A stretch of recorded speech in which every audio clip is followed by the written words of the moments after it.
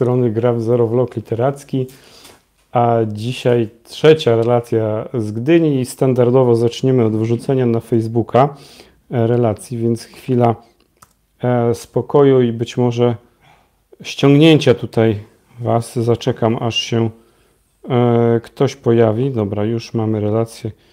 Dzisiaj się na pewno, znaczy dzisiaj się naprawdę bardzo szybko pojawiła, więc nie będzie sporego problemu. I dzisiaj taki dzień był trochę chaotyczny, muszę przyznać, bo dobra, relacja już jest. Możemy ją publikować. Niech się tylko opublikuje. I będziemy startować. Dzisiaj był taki dzień trochę chaotyczny z kilku przyczyn. Dobra, już mamy i możemy lecieć dalej. E, ok. E, po pierwsze, Zapowiadałem, że będzie dzisiaj Apokawiksa e, Żuławskiego. Nie, uciekaj, Gringo, uciekaj mi stąd. E, I nie będzie. E, z tej prostej przyczyny, że e, pojechałem rano na film bez identyfikatora. I na szybko musiałem wycofać rezerwację. Na, na szczęście byłem dużo, dużo wcześniej i, i po prostu e, powymieniać te filmy, tak żeby to, co zaplanowałem, jakoś tam się udało zrealizować. To jeszcze nie jest pewne, bo na sobotę zostaną rzeczy, o które tam będę się bił, bo już mało, mało miejsc jest. E, na iluzję na przykład, którą chciałem zobaczyć. Zobaczymy, może się uda. Na Johnego e, przede wszystkim też ale jakoś, e, jakoś, jakoś jeszcze te plany są do zrealizowania. To znaczy, dzisiaj, e, dzisiaj był e, Orzeł, dzisiaj był Filip i dzisiaj było Silent Twins. I o tych trzech filmach będę mówił. A druga sprawa, obiecałem, że będzie wcześniej dzisiaj film i dni mi się po prostu w głowie gdzieś tam przestawiły, bo Silent Twins kończyło się znowu koło 22, więc zanim wróciłem tutaj do mieszkania, żeby coś nagrać, no to, no to jest już godzina, która jest.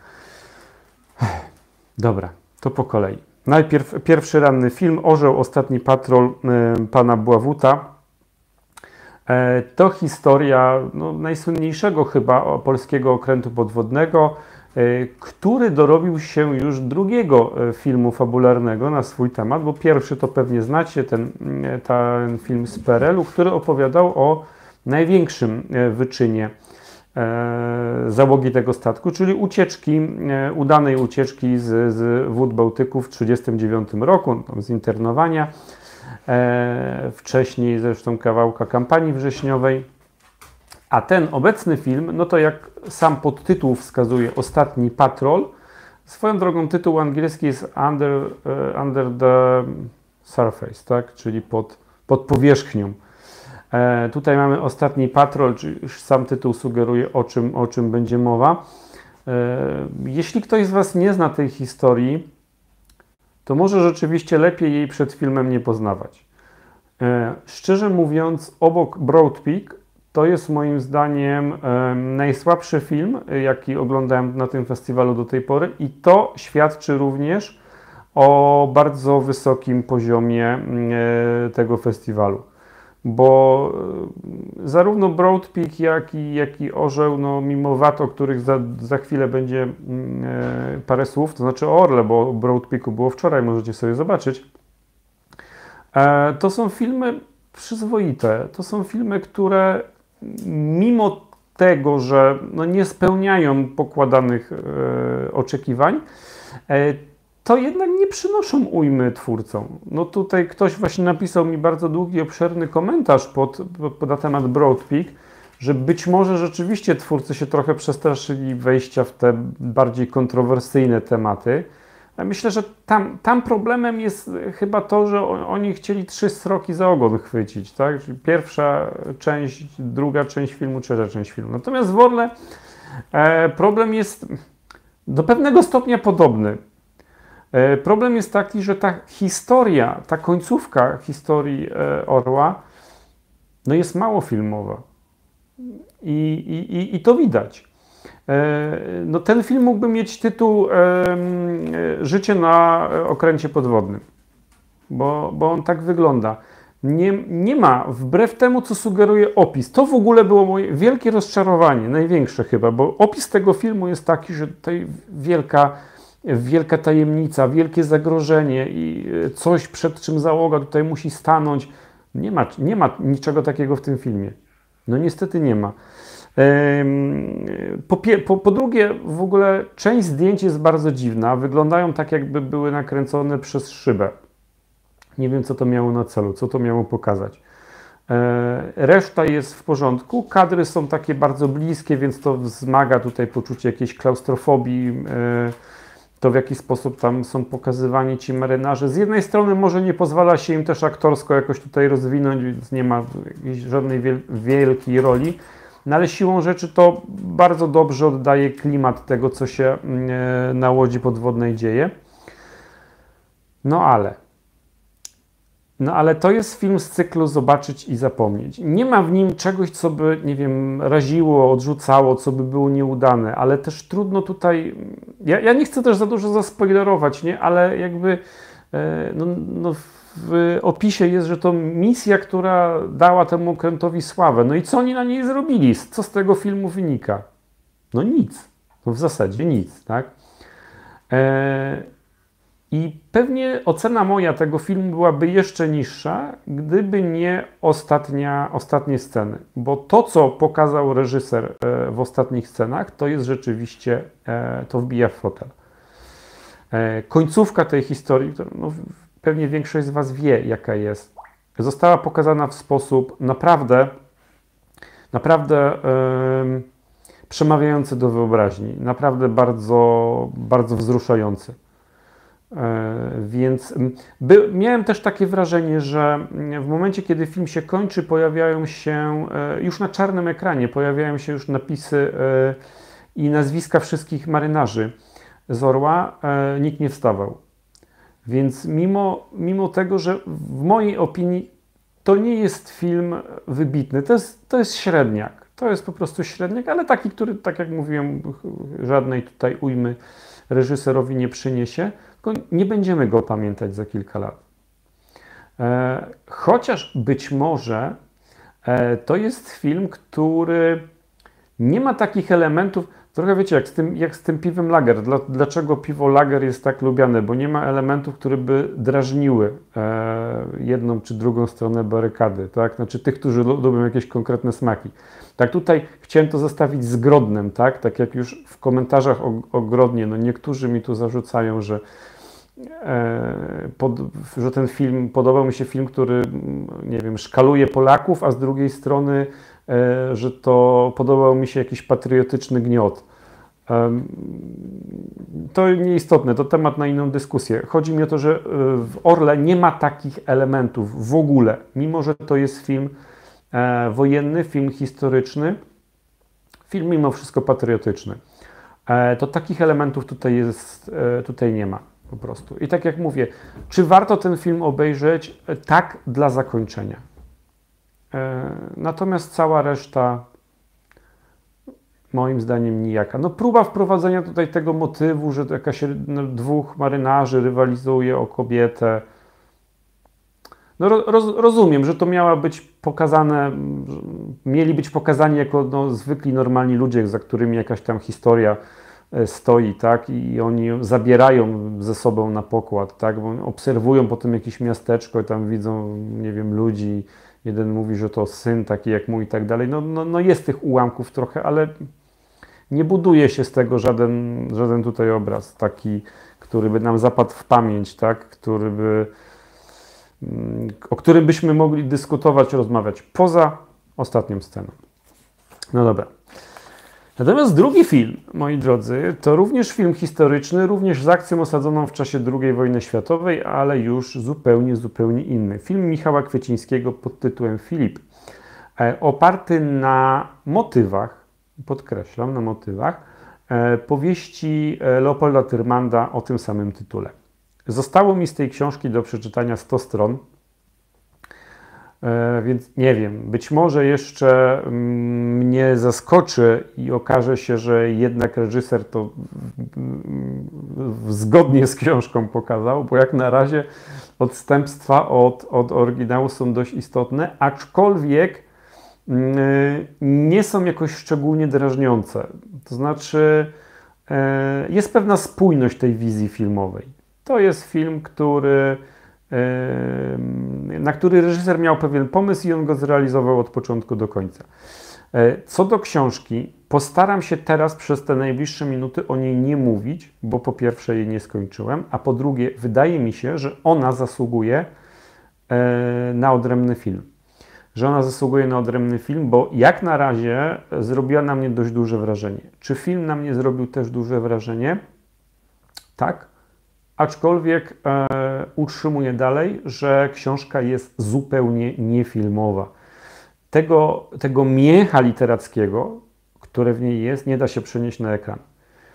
E, no dobra, ale to, tak jak mówiłem, o książce nie będę mówił, tylko o filmie tym razem. E, jest to historia w filmie e, Żyda ukrywającego się na terenie Niemiec i udającego Francuza, tak, który podchodzi do wojny w sposób dość lekki, tak? E, albo przynajmniej udaje, udaje, że się tym wszystkim bawi. Chyba trochę za mało to w filmie zostało podkreślone. W książce to du dużo mocniej o tym się mówi.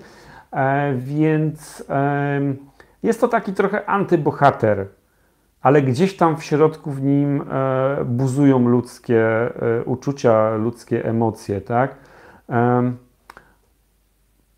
Jest w tym filmie sporo scen erotycznych. E, w książce zresztą też, ale one w książce są w zupełnie innych miejscach niż w filmie. E, więc to Was zaskoczę, akurat do, do książki. E, znowu, znowu nawiązuję, ale tak, co, co jeszcze o filmie? Bardzo ładnie się go ogląda, jeśli tak można w ogóle powiedzieć. No to widać, jeśli ktoś dobrze zna Wrocław, to będzie widział, e, które tam miejsca z Wrocławia zagrały. Frankfurt, bo to akcja się toczy we Frankfurcie. Scena bombardowania bardzo dobrze e, zrealizowana. No jeśli chodzi tutaj o mundury, kostiumy, to, to ja się nie wypowiadam. Wy, wydajcie znać, jeśli oglądaliście albo jeśli będziecie oglądać. E, natomiast dramat, dramat takiego człowieka żyjącego pod presją, usiłującego stworzyć sobie jakąś taką bańkę, e, w której się uchowa. E, podobnie pamiętacie może Europa, Europa, znaczy podobnie Agnieszki Holland, to, to trochę zupełnie inny film, tak? E, bo tutaj jakby główny bohater e, Filipa jednak w coś innego ucieka, ale jest jakieś podobieństwo tych filmów. Ale mimo wszystko mam wrażenie, że, że Filip jest tutaj lepszy. O włos, ale jednak lepszy. E, przede wszystkim dzięki świetnej roli Eryka Kulma. Tak, Eryk Kulm. Rzeczywiście bardzo dobra rola czekam jeszcze, żeby tutaj nie, nie, nie, nie, ten, nie, nie wyjść przez szereg na, na Johnego, zobaczyć jak tam ogrodnik się e, sprawił w Johnem, jeśli mi się uda w sobotę e, kupić bilety, ale jak na razie Kulm rzeczywiście e, czołówka tutaj, jeżeli chodzi o główną rolę męską, no można się zastanowić. No, pe na pewno szanse będzie miały, myślę, że powinien być brany pod uwagę przy werdykcie, a, a czy, czy dostanie tę rolę, czy nie, trudno powiedzieć. E, film bardzo dobry, historia, e, historia bardzo przemyślana. E, myślę, że na spokojnie 8 na 10, aczkolwiek zaznaczam, że to nie jest wizja wojny, do której przyzwyczaiło nas polskie kino. Czy wizja okupacji nawet, do której przyzwyczaiło nas polskie kino. Więc, więc na tym poziomie jest to chyba dosyć takie świeże. Ale Dajcie znać, jeżeli oglądaliście albo jeżeli y, będziecie y, chcieli oglądać. Y, powiem tak, warto, zdecydowanie warto, ale warto też zestawić go sobie z książką. Tak jak mówię, no brakuje mi tych 100 stron mniej więcej do końca. Już teraz widzę, że są różnice, na ile one się później pogłębią, a na ile pewne rzeczy jednak się naprostują. Zobaczymy, pożyjemy, zobaczymy. I ostatni film, z dzisiejszej trójcy The Silent Twins e, Agnieszki Smoczyńskiej. A słuchajcie, to jest, to jest historia, która wydarzyła się naprawdę. Film jest oparty na książce historii dwóch czarnoskórych bliźniaczek, które, które doszły po prostu do wniosku, że nie będą się odzywać. No, te, znaczy od tego się zaczęło, tak? Do siebie tak jak najbardziej, ale do nikogo innego nie wypowiedzą słowa. E, I tak pierwsza część tego filmu sprawiała wrażenie, że to będzie coś ala Siubuk, o którym mówiłem i który polecałem. Po czym e, zaczęło się robić bardzo dziwnie. I po wyjściu z kina, wiecie, miałem takie wrażenie, jeśli pamiętacie relacje sprzed trzech lat z filmem e, Lecha Majewskiego, że obejrzałem coś, co momentami było genialne, co momentami naprawdę robiło wielkie wrażenie, ale ja nie jestem w stanie tego filmu ocenić. On jest świetnie zagrany, e, on ma kapitalną muzykę, tam są bardzo dobre piosenki, część na pewno znacie. E, są takie sceny, które po prostu e, rozkładają na łopatki. To jest na przykład scena, w której bohaterki dowiadują się, że trafią do ciężkiego szpitala psychiatrycznego i następuje ich wizja tego, jak będzie wyglądało życie w szpitalu psychiatrycznym w formie takiej wesołej, wesołej piosenki um, z teledyskiem um, w stylu, nie wiem, Ameryki lat 60., 70., no może nawet trochę późniejszych. E, bardzo taki, takim barwnym, wesołym i w ogóle nieprzystającym do sytuacji. E, mamy tutaj animację poklatkową, e, która pokazuje opowiadania pisane przez, e, przez bohaterki. Ich wyobrażenia, które w ogóle odstają, jeżeli chodzi tutaj nawet o, o zdjęcia, tak, są zupełnie inaczej nakręcone, zupełnie inaczej pokazane, nie mówiąc o tym, że na temat rzeczywistości, ich wyobrażenia oczywiście, na temat tego, co się wokół nich dzieje. No, a reszta filmu kręcona jest w czymś, co ja nazywam w takich spranych kolorach, tak? E, wyblakłych wręcz, pokazujących trochę może szarość tej rzeczywistości, mimo że to się na tym zgniłym, kolorowym zachodzie rozgrywa. E, to, to właśnie dlatego na początku tak mi tym siubukiem pachniało, ale nie, później okazało się, że to jest film, który chyba próbuje pokazać to, co było w ich głowie, a to nie były zdrowe osoby psychicznie. E, czy to jest film udany? Tak, ale na pewno, znaczy nie jest to, nie jest to zdecydowanie najlepszy film, tu, jaki tu oglądałem, aczkolwiek jestem w stanie sobie wyobrazić widzów, Y, którzy wyjdą z tego e, filmu i, i będą zachwyceni i powiedzą tak, to jest dzień dobry. E, I powiedzą tak, to jest coś, to jest coś genialnego. Czy dzień dobry było na czacie? Nie, że powiedzą dzień dobry po wyjściu z kina. To było coś genialnego. To mnie wbiło w fotel. Je, jeżeli w ogóle lubicie filmy z motywem, e, znaczy opowiadające o chorobach psychicznych, opowiadające o szpitalach psychiatrycznych, e, to to tak, to, to będzie film, który, e, który do Was powinien dotrzeć. Dla mnie to jest, to jest zupełnie nie moje kino. E, miał momenty naprawdę wybitne, ale e, ten, ta część realistyczna, o tak powiem, ta część realistyczna mnie nie przekonała. No, z drugiej strony aktorsko para tych dziewczynek nie, nie zwróciłem uwagi teraz, bo ja dopiero co jestem po seansie, e, ale tam chyba wszyscy aktorzy to, to anglojęzyczni, więc to po, e, po filmie e, Infinity Storm kolejny film zupełnie w obcym języku nakręcony. No Filip zresztą podobnie jest, bo tam głównie po niemiecku i francusku mówią, chociaż jakieś tam zdania po polsku też się trafiają. to chyba cieszy jednak, że jakoś tam się Polacy pokazują na, e, na Zachodzie i że współpracują z nimi e, anglojęzy, anglojęzyczni aktorzy, anglojęzyczne e, ekipy. No słuchajcie, tyle. Dzisiaj jeden, jeden filmowy średniak i dwa naprawdę dobre filmy. To znaczy Filipa oceniam na 8, bo to, bo to są moje historie. Ja lubię kostium, uwielbiam kostium, mimo tego, że temat II wojny światowej nie do końca do mnie przemawia i odbrązawianie e, jakiejś tutaj mm, historii narodu polskiego, czy martyrologii może, też nie do końca do mnie e, dociera, to jednak tutaj e, zdecydowanie jestem na tak. To jeden z lepszych filmów, jakie w tym roku obejrzałem. Jeżeli chodzi o, o Silent Twins, no to tak jak powiedziałem, to nie jest mój film ale przyznaję, że jest bardzo, bardzo dobry. Natomiast na pewno znajdą się tacy z Was, którym ten film się bardzo, ale to bardzo spodoba. Jeżeli ktoś szuka filmu o takiej tematyce, o jakiej mówiłem, jeżeli ktoś szuka filmu z zacięciem artystycznym, filmu, który wychodzi poza kino stylu zerowego, to już kino autorskie, zdecydowanie to myślę, że e, będzie zadowolony, będzie usatysfakcjonowany. Jeżeli macie jeszcze jakieś pytania, to jeszcze około minuty powiedzmy można pisać na czacie. E, jutrzejszy dzień, e, bardzo wcześnie rano, więc ja zaraz się kładę kilka godzin snu i z powrotem. Czy dźwięk był dobry, czy standard? O, to jest, to jest bardzo dobre pytanie. E, czy dźwięk był dobry, czy standard polski zachowany w naszych produkcjach? Dlaczego, ja, dlaczego mam problem z odpowiedzią na to pytanie? Słuchajcie, ja bardzo lubię chodzić do kina na polskie filmy. I nigdy, znaczy, nie no, nie nigdy, parę razy mi się to zdarzyło, ale bardzo rzadko zdarza się tak, że mam problem z dźwiękiem w polskim filmie w kinie. Co innego jest, jak ten film później oglądam na y, jakimś streamingu albo w telewizji. Nagle się okazuje, że ja połowy rzeczy nie słyszę, a w filmie nie było z tym, a w kinie nie było z tym problemu.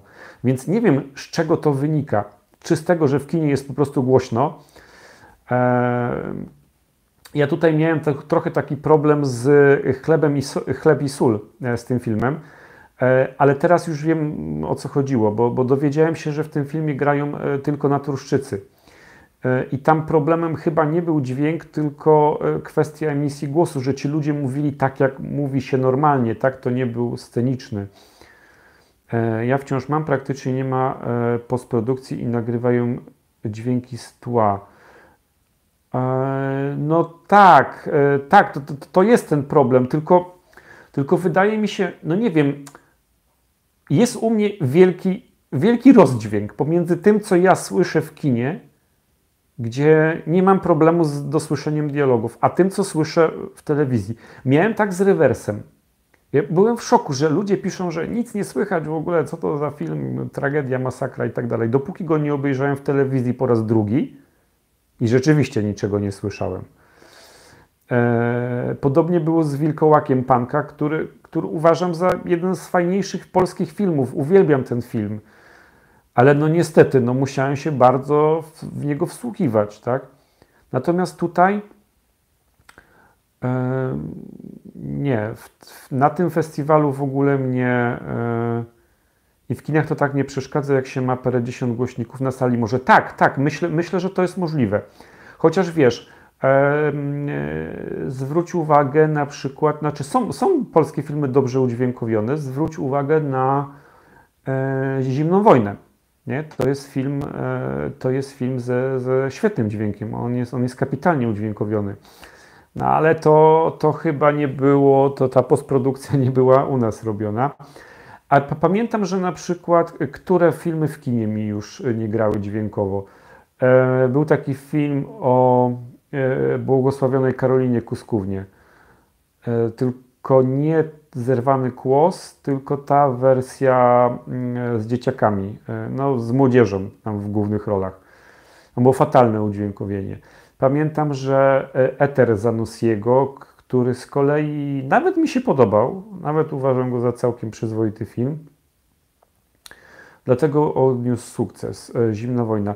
E, u nas zwyczajnie nie oszczędza, oszczędza się na dźwięku właśnie. A, czy, a to, to, może jest odwrotnie, że to jest, bo to zobacz, że to jest reżyser, który, mm, który pracował od dawna na, na zachodzie.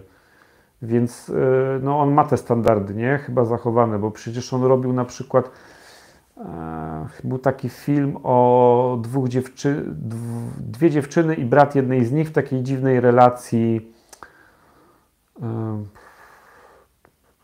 Tytuł mi teraz wyleciał. takiej powiedzmy miłosno-seksualnej w Anglii lat gdzieś tam 80. to się rozgrywa Pawlikowskiego. I on też nakręcony za granicą, więc myślę, że to po prostu kwestia jakichś tam standardów. E, no nie wiem, musiałbym te wszystkie filmy obejrzeć, e, obejrzeć gdzieś na, na tym, na, na w telewizji czy, czy na laptopie, żeby się wypowiedzieć, bo tutaj e, problem miałem trochę taki, że uciekały mi końcówki wypowiedzi w chlebie i soli, ale tak jak mówię, to jest, to jest, zupełnie, to jest zupełnie inny problem. Bo ten film na przykład, no to wiecie pewnie, nie, że w Wenecji, w Wenecji czy w Cannes już teraz zgarnął jakąś tam nagrodę e, i chyba nikt na to nie narzekał, więc to jakby pewnie udźwiękowione jest dobrze. Tam zresztą dźwięk jest bardzo ważny w tym filmie. No ale tak jak mówię, no grają ludzie, którzy tam emisji głosu nie przeszli, nie? Więc e, e, budżet 4,8 miliona dolarów na zimną wojnę. Wiele polskich produkcji o tym może pomarzyć. E, tak, no, to, ale dlaczego miał taki budżet? No po Idzie, e, po takim sukcesie, jaki odniosła Ida, to, a Ida też jest zresztą bardzo dobrze udźwiękowiona. E, więc, więc ciężko mi jest na to pytanie odpowiedzieć. Próbuję sobie teraz przypomnieć, ona na przykład Kruk, nie? To, to ten serial e, szepty słychać po zmroku, po zmroku, czy jakoś tak, gdzie tam na wykopie żartowano, że nie, nie słychać jednak. Świetny serial, a też nie słychać połowy rzeczy. E, w Królu było podobnie. No, no tak, to, to, jest, to jest problem rzeczywiście, że na, na tym się oszczędza. Więc, e, więc gdybym tutaj miał wytypować filmy, gdzie nie będzie problemu z dźwiękiem, to moim zdaniem nie będzie problemu z dźwiękiem w Infinity Storm, bo jest robiony za granicą. E, w Silent Twins, e, bo tutaj muzyka jest ważna i też jest robione za granicą.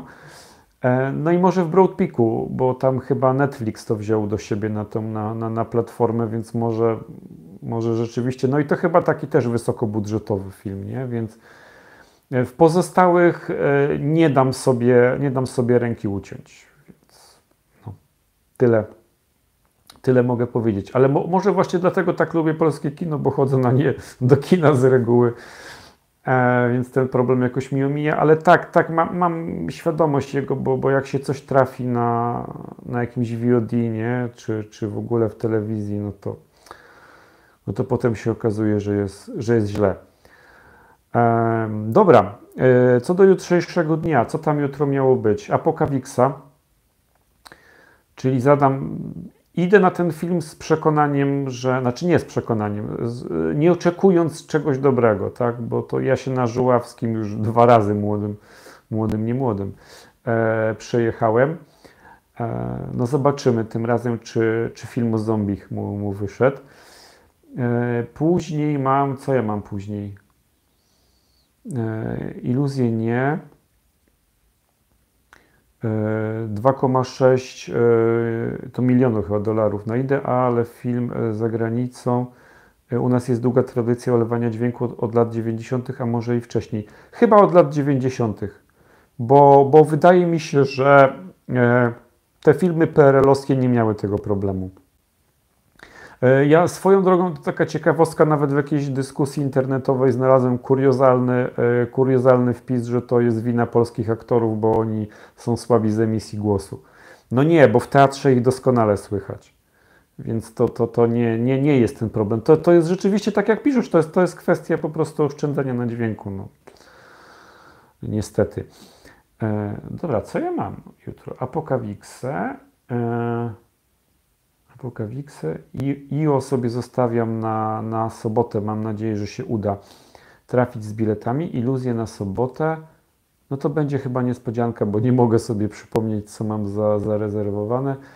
Ale yy, no wydaje mi się, czekam jeszcze na Skolimowskiego, no bo to wiecie pewnie, że już będzie zgłoszony do Oscara.